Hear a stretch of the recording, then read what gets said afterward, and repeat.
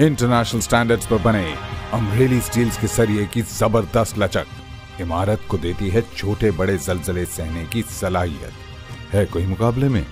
Amreli steels building for life नाजरीन कढ़न शहर के वहरा मोहल्ले में बेहद अफसोसनाक वाक़ पेश आया। प्रेस क्लब कढ़न के सबक सदर सीनियर सहाफ़ी और ताजर मुबारक अली वहरा के 25 साल नौजवान बेटे फरहान मुबारक वहरा ने रात देर से जहरीली दवाई पीकर खुदकुशी कर ली। नौजवान के सेहत मरकज़ कढ़न लाया गया, जहाँ फ़र्स्ट एड देकर नाजिक हालत में बदीन हेड क्वार्टर रेफर किया गया, जहाँ मेडिकल अमले की बेहद कोशिशों के बाद नौजवान ज़िंदगी की जंग हार गया। नौजवान की मैयत घर पहुँचने पर कोहराम मच गया और उनके नवाजा जनाजा में शहरी सहाफ़ी सियासी और समाजी लोगों ने बड़ी तादाद में शिरकत की।